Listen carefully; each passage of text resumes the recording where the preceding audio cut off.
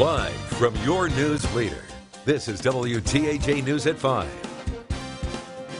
You heard it, strong storms moving through parts of our region tonight, bringing some powerful downpours. Several watches were also in effect a short time ago, but is the threat over? We're going to send it back to our meteorologist Mike Doyle for a closer look at the radar and what we can expect tonight. Mike? Yeah, for some of us, actually it's a quite uh, nice evening, but some are still holding on to a strong and uh, a strong downpour and some strong thunderstorms up towards northern Centre County and all toward really just south of uh, Renovo. So lots of lightning, heavy downpours, and some gusty winds for our northern counties. But you can see most of us right now are beginning to dry up. As look down towards the south, between Blair County, southern Huntingdon County, northern Bedford County, also parts of Fulton County, we're about to see some very strong downpours, some flooding downpours possible, and some very strong and gusty winds. And that will last for a couple of minutes, then move on off. As we zoom on out, we still have that severe thunderstorm watch issued for uh, all of our counties here in pink until 8 o'clock this evening. We do have a severe thunderstorm warning out towards Pittsburgh, but for us here,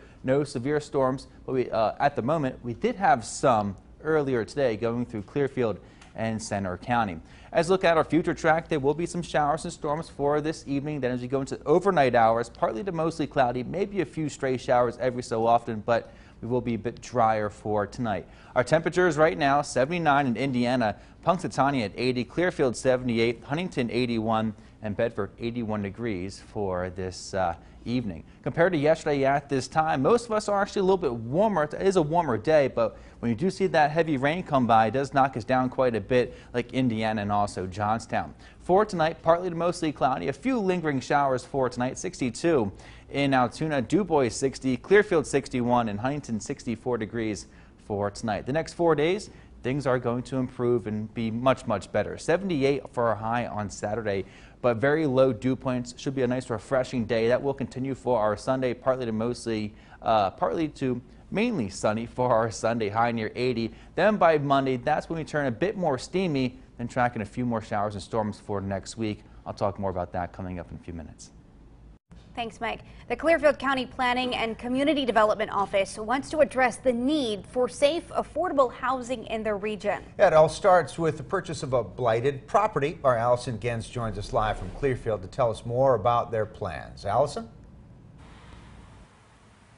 Yeah, John, Amanda, according to a county-wide study done in 2012, 46% of renters in Clearfield County are paying more than 30% of their income toward rent. Now the county is taking properties like the one you see behind me and turning them into more affordable rental options. This house has sat vacant for three years on Daisy Street Extension in Clearfield. After it was condemned, the county took control of the property, which will get new life as low-income apartments. We want it energy efficient, and we wanted it, we want it to meet code, and we want it to be safe for the individuals that are moving into it. This will be the first time the county has taken on a housing project like this. Lisa Kovalik says the 2019 fair market value for a two bedroom apartment in the county is nearly $700 a month, including utilities. This would be a family earning over $30,000 a year. Um, and while our median is 36,000, we have those families that actually qualify to be renting these apartments. The other unit in the house would be three bedrooms and have a rent around $900 a month. and the county will use a $60,000 grant through the Pennsylvania Housing and Finance Agency to rehabilitate the property. And if it's successful, they would like to try this project on other houses in the county. In Clearfield, I'm Allison Gens, WTAJ News. Thanks, Allison. Today at the Centre County Courthouse, the first ever candidates graduated from the county's drug court. 24-year-old Sydney Trinka and 27-year-old Giovanni Mazzata presented with their certificates for completing the drug court program. It was started in Centre County in January 2018 as a rehabilitation option for those with a drug addiction. One graduate told us how the program changed her life two years ago, I never thought I'd be standing here. I really thought I'd be um, either in jail or dead. So it feels awesome to be standing here with everybody I love and all the friends I've made. Um, I'm just I'm just really happy to be here. The county's president, Judge Pamela Ruest, says that they currently have 17 people in the program and may get up to 25 in the future. Jerry Sandusky will be taken from his prison cell in Greene County to a Centre County courtroom next month for a new sentence. Earlier this year, a state appeals court ruled mandatory minimums were improperly applied to his case. Last month, the Supreme Court denied Sandusky the chance to argue for a new trial. But Wednesday, a judge set the resentencing hearing for September 23rd. It's not clear if Sandusky will see much of a change from his current sentence of 30 to 60 years for sexually abusing 10 boys.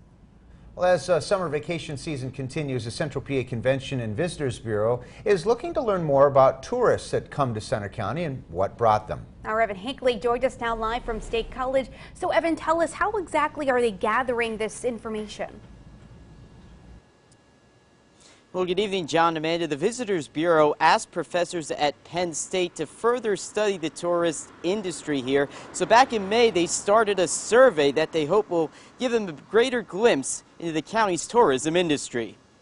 What we're trying to do here is better understand the profile of who these visitors are and the economic impact of the visitor spending. To do that, Assistant Professor of Tourism Management Ashley Schroeder is sending out folks to give surveys at different hotels and special events that draw a crowd, like Arts Fest, the People's Choice Festival, and Philipsburg Heritage Days. They've also given surveys at attractions like the Berkey Creamery and the Arboretum. In total, they plan on going to between 20 and 30 sites throughout the county. So far, we've collected around 300 surveys. That's not enough to draw any conclusions just yet, but starting this fall, Ashley and others will look at the data and report back to the Visitors Bureau. It's the demographics of, of the visitors who are coming that we are really anxious to learn about, where they come from. Which can help them pinpoint what areas need a better marketing campaign. The survey itself is randomly given to anyone 18 or older and has about 30 questions, asking folks what brings them to Centre County, where they're from, how satisfied they are, and most importantly, would they come back? Repeat visitors are really what makes a destination. Um, you can't, you're not going to thrive and succeed as a tourism destination if you're really only getting people one time and they've sort of checked you off their list. We need to whet their appetite about all the great things there are to do here and get them coming back frequently. Now, in addition to that, uh, I'll explain tonight at 6, basically, uh, age is also an important metric that's measured on this survey, along with location, as here in Centre County, there's a stark contrast between the downtown districts and also the outerlying rural areas. I'll explain more on that about that coming up again here at 6 o'clock. But for now, reporting live here in State College, Evan Hinckley, WTAJ News. Thanks, Evan. The Curwensville Area High School has announced a new coach for the Golden Tide football team. James Thompson, who is a Curwensville graduate and former Tide player, will be the new head coach. This comes after the longtime coach Andy Evanko lost his battle with ALS in early June. Evanko had coached for the Golden Tide for more than 20 years. The first game is Friday, August 23rd against the Elk County Catholic School in St. Mary's. Now, people in the Altoona business community are mourning the loss of a business owner who took her own life last month. Now, her husband and friends are speaking out, saying she and other business owners were being harassed by people within their community. Our Colleen Knutson joins us now live with more on this story. Colleen. Well, John and Amanda, Becky Hoover opened Trends by Poppy in Altoona about two years ago, but her husband, Ken Hoover, tells me even before they opened the shop, they started getting bullied by other business owners in the area.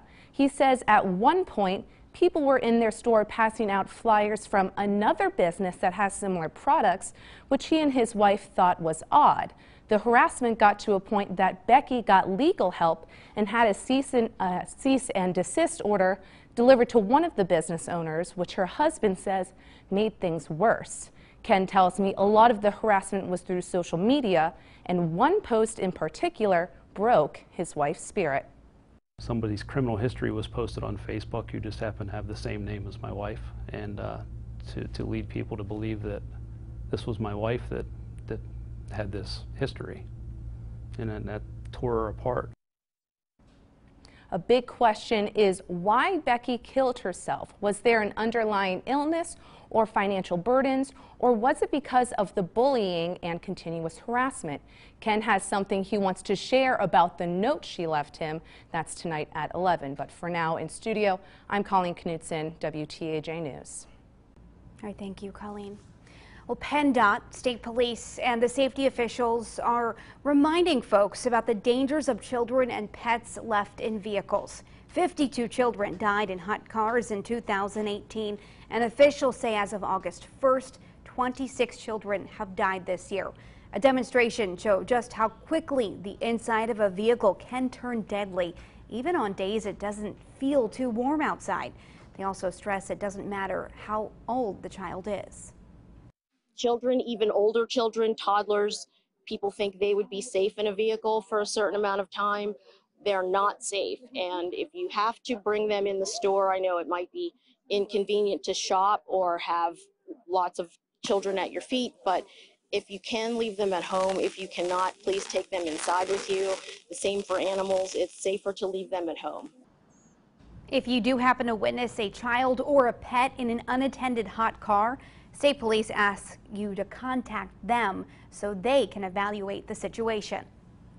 Folks in Blair County have a chance to enjoy a sweet treat and help a good cause tomorrow. The Farm City Committee is hosting their Cones for a Cause event at Richie's Dairy in Martinsburg. A single scoop cone is going to be on sale for a dollar all day long. The proceeds will be used to buy milk for distribution by the American Rescue Workers. And the Sharp Tones will perform from 6 to 9. Vendors across the region are invited to a two-day Arts and Heritage Festival. This is at uh, Dumans Dam Park in Cambria County. The Laurel Highlands Historical Village is hosting the event on September 21st and 22nd. Arts and craft vendors who sign up will be able to showcase and market their products. The festival also aims to celebrate the history of Pennsylvania. Multiple open slots are still available and nonprofit groups can set up for free. For more information on how you can register, you can head to our website, wearecentralpa.com. Ahead on WTAJ News at 5, we're learning more about a concern call to police from the suspected El Paso gunman's mother. We'll tell you her concerns and how the attorneys for the family describe that call after the break. And 30 street signs are taken from a local township. Hear why. It could affect residents in the area in more ways than one. That's at 530.